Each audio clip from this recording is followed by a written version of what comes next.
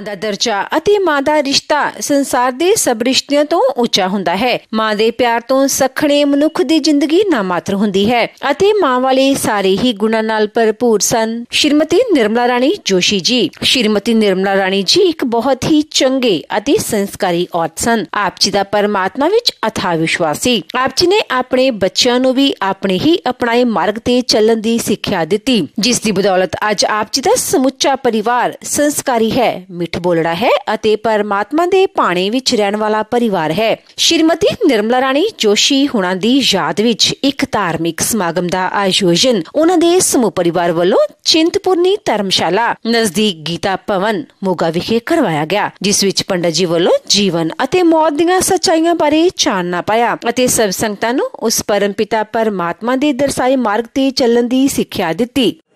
ਇਸ ਦੁਨੀਆ ਦੇ ਅੰਦਰ ਸਭ ਤੋਂ ਬੜੀ ਸਚਾਈ ਜੇ ਕੁਝ ਹੈ, ਤਾਂ ਉਸ ਦਾ ਨਾਮ ਹੈ ਮੌਤ।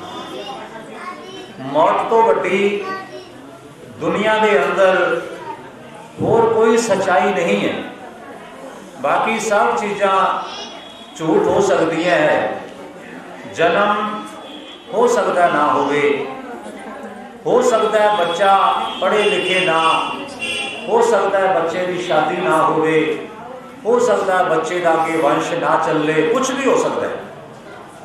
ਲੇਕਿਨ ਇਹ ਨਹੀਂ ਹੋ ਸਕਦਾ ਕਿ ਜਿਹੜਾ ਦੁਨੀਆ ਦੇ ਵਿੱਚ ਪੈਦਾ ਹੋਇਆ ਹੈ, ਉਸ ਦੀ ਮੌਤ ਨਾ ਹੋਵੇ।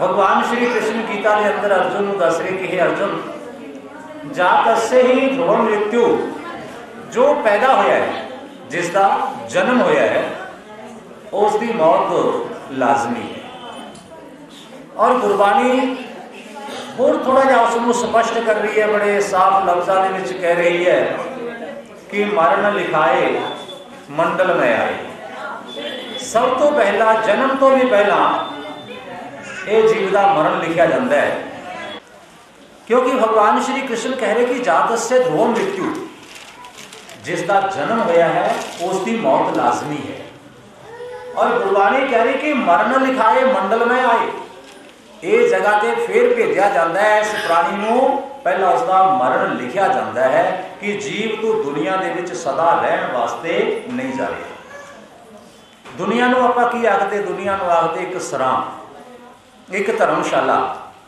ਆਪਾਂ ਬਹੁਤ ਸਾਰੀਆਂ ਕਥਾ ਕਹਾਣੀਆਂ ਕਈ ਵਿਦਵਾਨਾਂ ਤੋਂ ਕਈ ਮਹਾਪੁਰਸ਼ਾਂ ਤੋਂ ਸੁਣੀਆਂ ਔਰ ਉਹਦੇ ਵਿੱਚ ਇੱਕ ਧਰਮਸ਼ਾਲਾ ਦੀ ਕਥਾ ਆਉਂਦੀ ਹੈ ਕਿ ਇੱਕ ਕੋਈ ਮਹਾਤਮਾ ਜੀ ਚੱਲਦੇ ਚੱਲਦੇ ਨਾ ਕਿਸੇ ਬਹੁਤ ਬੜੀ ਕੋਠੀ ਦੇ ਸਾਹਮਣੇ ਜਾ ਕੇ ਰੁਕੇ। ਜਦੋਂ ਕੋਠੀ ਦੇ ਸਾਹਮਣੇ ਜਾ ਕੇ ਰੁਕੇ, ਅੰਦਰੋਂ ਨੌਕਰ ਆਇਆ। ਹਰ ਨੌਕਰ ਆ ਕੇ ਮਹਾਤਮਾ ਜੀ ਨੂੰ ਕਹਿਣ ਲੱਗਿਆ, ਮਹਾਰਾਜ, ਦੱਸੋ ਕੀ ਚਾਹੀਦਾ ਹੈ?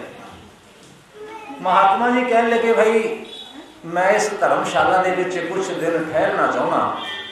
ਮੈਨੂੰ ਇਹ ਧਰਮਸ਼ਾਲਾ ਬੜੀ ਚੰਗੀ ਲੱਗਦੀ ਹੈ। ਮੈਂ 2-4 ਦਿਨ ਇਸ ਦੇ ਵਿੱਚ ਰੁਕਣਾ ਚਾਹੁੰਦਾ। ਤਾਂ ਉਹ ਜਿਹੜਾ ਨੌਕਰ ਸੀ, ਕਹਿਣ ਲੱਗਿਆ, ਮਹਾਰਾਜ, ਇਹ ਧਰਮਸ਼ਾਲਾ ਨਹੀਂ ਗੀ। ਇਹ ਤਾਂ ਫਲਾਣੇ ਆਦਮੀ ਦਾ, ਫਲਾਣੇ ਸੇਠ ਦਾ, ਸ਼ਾਹੂਕਾਰ ਦਾ ਬੰਗਲਾ ਹੈ। ਇਹ ਉਹਦੀ ਕੋਠੀ ਹੈ। ਤੁਹਾਨੂੰ ਧਰਮਸ਼ਾਲਾ ਦਾ ਐਡਰੈਸ ਨਹੀਂ ਦਿੱਤਾ ਕਿਸੇ ਨੇ। ਉਹ ਤਾਂ ਅਗਲੀ ਤੋਂ ਅਗਲੀ ਗਲੀ ਦੇ ਵਿੱਚ ਉੱਥੇ ਚਲੇ ਜਾਓ। ਮਹਾਤਮਾ ਜੀ ਕਹਿਣ ਲੱਗੇ, ਨਹੀਂ। ਇਸੇ ਹੀ ਧਰਮਸ਼ਾਲਾ ਦੇ ਵਿੱਚ ਮੇਰਾ ਮਨ ਅਟਕਿਆ, ਮੈਂ ਇੱਥੇ ਹੀ ਰਹਿਣਾ ਚਾਹੁੰਦਾ। ਇੰਨੇ ਚਿਰ ਦੇ ਵਿੱਚ ਅੰਦਰੋਂ ਜਿਹੜਾ ਉਸ ਕੋਠੀ ਦਾ ਮਾਲਕ ਸੀ, ਉਹ ਆ ਗਿਆ। ਕੋਠੀ ਦਾ ਮਾਲਕ ਆਇਆ। ਮਹਾਤਮਾ ਜੀ ਨੂੰ ਕਹਿਣ ਲੱਗਿਆ, ਮਹਾਰਾਜ, ਮਹਾਤਮਾ ਜੀ ਐ ਸਵਾਮੀ ਜੀ, ਤੁਸੀਂ ਇਸ ਨੌਕਰ ਦੇ ਨਾਲ ਕਿਉਂ ਲੜਦੇ ਪਏ ਹੋ? ਕਿਉਂ ਇਹਦੇ ਨਾਲ ਬਹਿਸਦੇ ਪਏ ਹੋ? ਤੁਹਾਨੂੰ ਜਿਸ ਚੀਜ਼ ਦੀ ਜ਼ਰੂਰਤ ਹੈ, ਮੈਨੂੰ ਦੱਸੋ, ਮੈਂ ਇਸ ਦਾ ਮਾਲਕ ਹਾਂ ਘਰ ਦਾ। ਮੈਂ ਤੁਹਾਡੀ ਜ਼ਰੂਰਤ ਨੂੰ ਆਪਣੀ ਸਮਰੱਥਾ ਦੇ, ਆਪਣੀ ਹੈਸੀਅਤ ਦੇ ਮੁਤਾਬਕ ਪੂਰੀ ਕਰਾਂਗਾ। ਤਾਂ ਮਹਾਤਮਾ ਜੀ ਕਹਿਣ ਲੱਗੇ ਕਿ ਬੇਟਾ ਦੇਖ, ਜੇ ਤੂੰ ਮੇਰੀ ਇੱਛਾ ਨੂੰ ਪੂਰੀ ਕਰ ਸਕਦਾ ਹੈ, ਤਾਂ ਮੇਰੀ ਤਾਂ ਇੱਕ ਛੋਟੀ ਜੀ ਇੱਛਾ ਹੈ ਕਿ ਮੈਂ ਇਸ ਧਰਮਸ਼ਾਲਾ ਦੇ ਵਿੱਚ 2-4 ਦਿਨ ਰਹਿਣਾ ਉਸਨੇ ਵੀ ਹੱਥ ਜੋੜਦੇ ਮਹਾਰਾਜ, ਇਹ ਧਰਮਸ਼ਾਲਾ ਨਹੀਂ ਹੈ। ਇਹ ਤਾਂ ਮੇਰਾ ਬੰਗਲਾ ਹੈ, ਮੇਰੀ ਕੋਠੀ ਹੈ। ਮਹਾਤਮਾ ਜੀ ਕਹਿਣ ਲੱਗੇ ਵੀ ਧਰਮਸ਼ਾਲਾ ਉਸ ਦਾ ਮਤਲਬ ਕੀ ਹੁੰਦਾ ਹੈ? ਪਹਿਲਾਂ ਤੇ ਦੱਸੋ। ਤਾਂ ਮਹਾਤਮਾ ਜੀ ਦੇ ਵਚਨ ਸੁਣ ਕੇ ਉਹ ਸੇਠ ਕਹਿਣ ਲੱਗਿਆ, ਮਹਾਰਾਜ ਜਿਹਦੇ ਵਿੱਚ ਕੋਈ ਸਦਾ ਰਹਿੰਦਾ ਨਹੀਂ ਅਤੇ ਜਿਸ ਦੇ ਵਿੱਚ ਆਉਣ ਵਾਲੇ ਦਾ ਪਤਾ ਨਹੀਂ, ਉਹ ਕਿਸ ਜਗ੍ਹਾ ਤੋਂ ਆਇਆ ਅਤੇ ਜਿਸ ਦੇ ਵਿੱਚੋਂ ਜਾਣ ਵਾਲੇ ਦਾ ਪਤਾ ਨਹੀਂ, ਉਹ ਕਿਸ ਜਗ੍ਹਾ ਤੇ ਜਾ ਰਿਹਾ ਹੈ, ਉਸ ਦਾ ਨਾਮ ਹੈ ਧਰਮਸ਼ਾਲਾ। ਮਹਾਤਮਾ ਜੀ ਕਹਿਣ ਲੱਗੇ, ਬੇਟਾ, ਤੇਰੀ ਗੱਲ ਬਿਲਕੁਲ ਠੀਕ ਹੈ, ਪਰ ਮੈਨੂੰ ਇਹ ਦੱਸ ਕਿ ਇਹ ਕੋਠੀ, ਬੰਗਲਾ, ਇਹ ਤੈਨੂੰ ਕਿਸ ਜਗ੍ਹਾ ਤੋਂ ਮਿਲਿਆ? ਮਹਾਰਾਜ, ਮੇਰੇ ਪਿਤਾ ਜੀ ਤੋਂ। ਪਿਤਾ ਜੀ ਨੂੰ ਕਿੱਥੋਂ ਮਿਲਿਆ, ਦਾਦਾ ਜੀ ਤੋਂ, ਦਾਦਾ ਜੀ ਨੂੰ ਕਿੱਥੋਂ ਮਿਲਿਆ? ਮਹਾਰਾਜ, ਸਾਡੀ ਜੱਦੀ ਪੁਸ਼ਤੀ ਹੈ ਪਰਦਾਦਾ ਜੀ ਤੋਂ ਮਿਲਿਆ, ਉਸ ਤੋਂ ਪਹਿਲਾਂ ਦਾ ਮਿਲਿਆ, ਉਸ ਤੋਂ ਪਹਿਲਾਂ ਨਾ ਮਿਲਿਆ। ਤੂੰ ਭਾਈ ਕਿਸ ਨੂੰ ਦੇ ਕੇ ਜਾਏਗਾ? ਮਹਾਰਾਜ ਆਪਣੇ ਬੇਟੇ ਨੂੰ। ਉਹ ਕਿਸ ਨੂੰ ਦੇ ਕੇ ਜਾਏਗਾ? ਮੇਰੇ ਪੋਤੇ ਨੂੰ। ਉਹ ਕਿਸ ਨੂੰ ਦੇਵੇਗਾ? ਮੇਰੇ ਪੜੋਤੇ ਨੂੰ।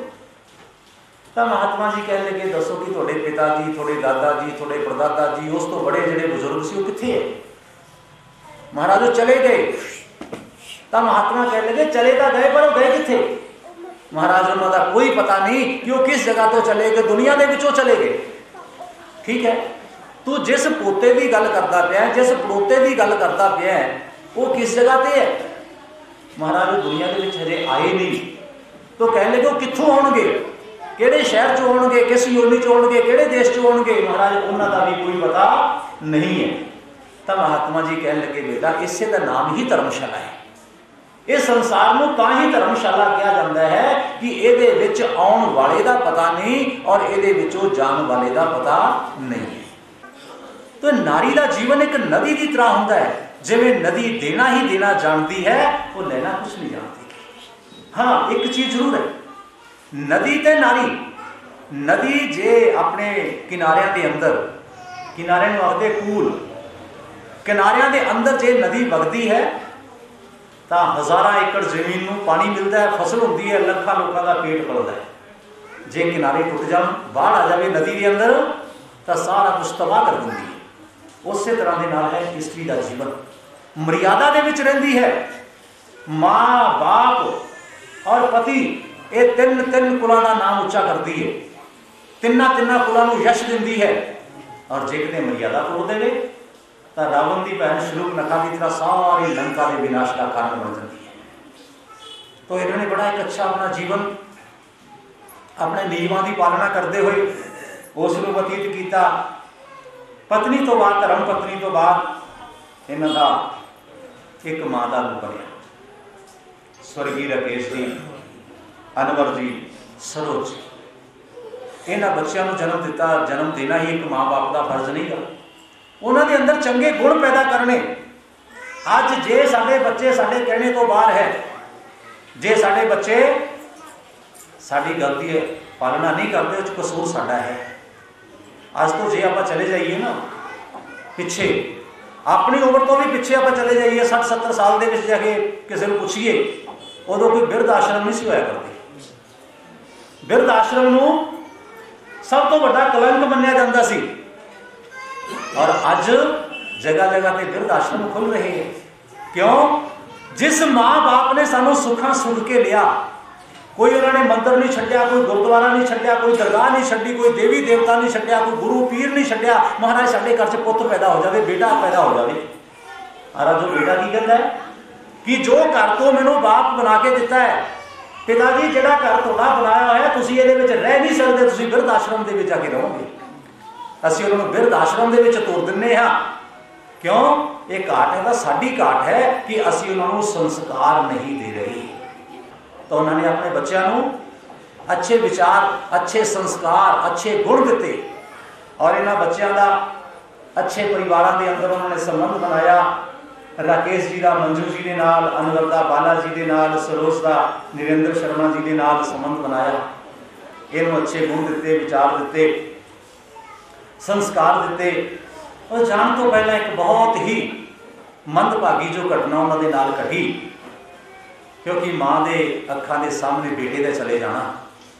ਅੱਜ ਤੋਂ 3 ਸਾਲ ਪਹਿਲਾਂ ਜੋ ਰਾਕੇਸ਼ ਜੀ ਗਏ ਦੁਨੀਆ ਦੇ ਵਿੱਚੋਂ, ਤੋਂ ਰਾਕੇਸ਼ ਜੀ ਦੇ ਜਾਣ ਦਾ ਜਿਹੜਾ ਗਮ ਮਾਨ ਅੰਦਰ ਹੀ ਅੰਦਰ ਉਹ ਖਤਮ ਕਰ